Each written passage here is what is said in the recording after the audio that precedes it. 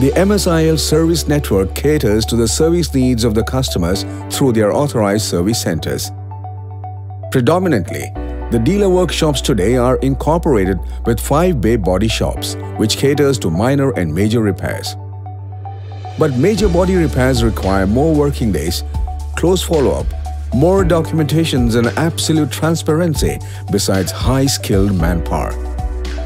This, coupled with the regular servicing, major body repair at regular service centers can foresee delay. Thus, the idea of a centralized body shop was born. The centralized body shop takes care of the comprehensive body repair works of Maruti cars. Once the vehicle is received at the service dealer, following steps ensue. All relevant documents are collected and body shop facilities are explained to the customer. The vehicle is transferred to the centralized body shop. The customer is informed on the receipt of the vehicle. The skilled manpower at the body shop will set up the car for repair at the bay. The major dents are dealt with the aid of CRS, the collision repair system.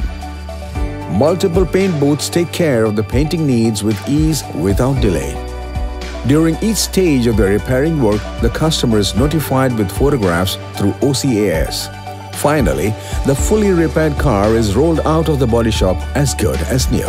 On completion of vehicle repair at the centralized body shop, the vehicle is taken back to the regular service center for its delivery to the customer.